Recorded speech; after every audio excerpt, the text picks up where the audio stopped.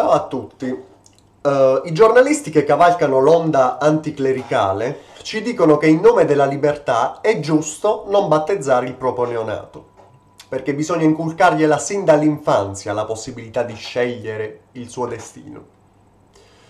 Uh, peccato però che in nome di ciò che definiamo progresso stiamo distruggendo secoli, anzi millenni, di storia. Il significato del battesimo, infatti, è molto più profondo di quanto scritto dal giornalista del Fatto Quotidiano ed è volto a dare un significato alla vita stessa di ognuno di noi. E non è un'imposizione, bensì un rito simbolo della cristianità e della cultura europee essere consacrati a un uh, qualcosa che trascenda la realtà terrena, evidentemente, non è consono agli attuali canoni imposti dalla democrazia moderna, che fa del materialismo una vera e propria religione. Altrimenti chi governa correrebbe il rischio di vedere l'uomo distaccarsi dalla vita terrena per agganciarsi a una morale superiore. E il gioco terminerebbe inevitabilmente con il crollo della piramide del potere, che ha come base proprio la nostra ignoranza. Loro però lo hanno abilmente evitato e continueranno a farlo. Con, quando dico loro mi riferisco a loro, i veri potenti. Ci hanno imbrogliati, ci hanno cambiati spacciando la nostra natura per uh, un qualcosa che non è. Ora l'uomo è un semplice prodotto e per mezzo del suo sé, abilmente plasmato dal sistema, può chiedere e ottenere ciò che vuole. Quindi perché non eliminare anche il battesimo, frutto di un'imposizione ormai superata e retrograda che viola il diritto del singolo individuo di scegliere? Il battesimo è ormai roba vecchia e poteva andare bene quando l'umanità non era an- stata ancora liberata nel corpo e nello spirito dalla dittatura democratica globale, quella che esaudisce ogni richiesta e capriccio in nome del progresso e della libertà. Siamo dei contenitori eh, privi di spiritualità e cultura, gettati in un mondo che permette di modellarci con una vasta gamma di servizi gentilmente offerti da qualche multinazionale. Si parte dalla religione, passando per il diritto a togliersi la vita, fino ad arrivare all'identità sessuale.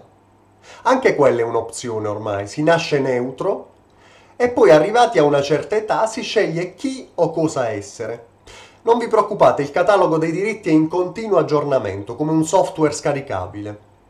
Manca solo la liberalizzazione della sessualità infantile, o forse no, visto che molte scuole, addirittura asili, incominciano a parlarne. Se leggeste i commenti sotto l'articolo del Fatto Quotidiano, che vi ho fatto vedere all'inizio del video, rimarreste di stucco, una marea di Zulu senza pensiero e opinione, intrisi di una rabbia abilmente fomentata dai mass media manipolatori, che elogiano il gesto e addirittura ne divinizzano l'autrice. Con un paese in rovina sociale, economica, morale e soprattutto spirituale, però la rovina spirituale non ve la dicono, ovviamente, o almeno non ve la sottolineano, non ve la evidenziano, si pensa al diritto di non battezzare i propri figli. Non mi stupirei se la presidenta, attenzione presidenta, della Camera Boldrini se ne esca con qualche strambo disegno di legge volto a laicizzare ancora di più il paese. Se ciò accadesse non dovremmo prendercela con lei, perché il Parlamento non è altro che lo specchio di una coscienza popolare ormai assopita. Loro sono sempre lì, e continuano a starci anche e soprattutto grazie a noi. Sono come parassiti biologici abili nel camuffamento che succhiano risorse ed energia al paziente fin quando chi di dovere, uno specialista con l'occhio un po' più aguzzo, se ne accorge e allarma il paziente, che inizia una cura per eliminarlo. Forse tutti, eh, in cuor nostro, attendiamo con ansia qualcuno che ci salvi da questo schifo, un nuovo messia che prenda su di sé il peso di 70 anni di errori e sperperi uh, solo ed esclusivamente per salvarci, per amore di questa nazione. Uh, ma ahimè, così non sarà.